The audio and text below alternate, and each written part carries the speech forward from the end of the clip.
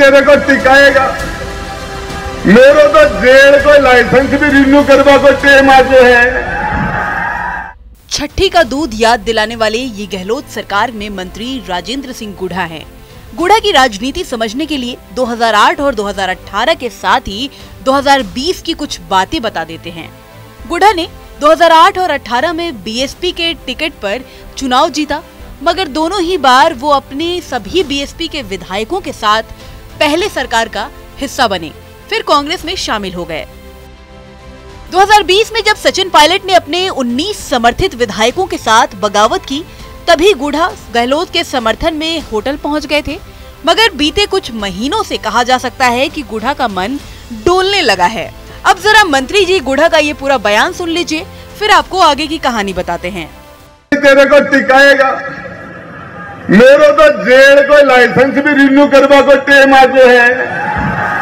पहले साहब चिंता मत करना, मैं आपको बताना चाह रहा हूँ।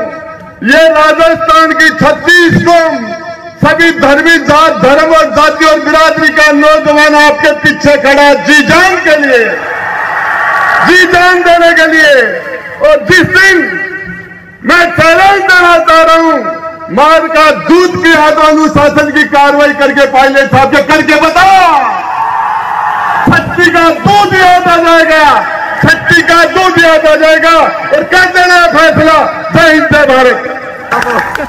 आपको बता दें, पायलट के समर्थन में खुलकर बयानबाजी करने वाले गहलोत सरकार के मंत्री राजेंद्र गुढ़ा पर इसी साल फरवरी के महीने में झुंझुनू के ककराना गाँव के रहने वाले और वर्तमान में नीम का थाना कस्बे में प्रताप नगर के रहने वाले दुर्गा सिंह ने दर्ज रिपोर्ट में आरोप लगाया कि 27 जनवरी को दोपहर 12 बजे मंत्री राजेंद्र गुढ़ा ने उसके पास फ़ोन पर गाली गलौज कर धमकी दी। इसके बाद मंत्री गुड़ा और उनके पीए कृष्ण सिंह 12 बजे उसके पास आए और उनके साथ मंडावरा के रहने वाले विमला कंवर और अन्य लोग भी थे।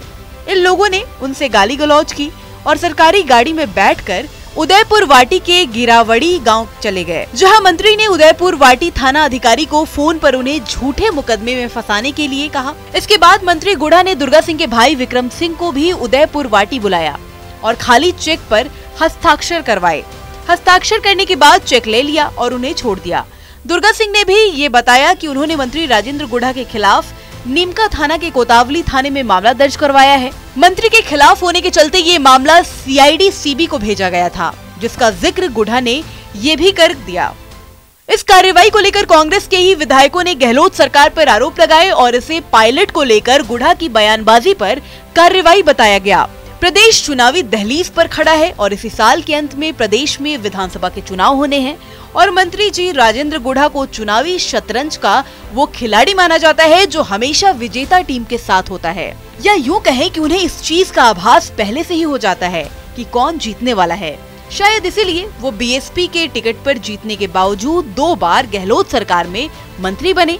और इस बार उन्हें अंदाज़ा लग गया है कि पायलट के नेतृत्व में कांग्रेस बड़ी जीत दर्ज कर सकती है। शायद यही वजह है कि वो खुलकर पायलट के समर्थन में बैटिंग करने को उतारू हो गए हैं।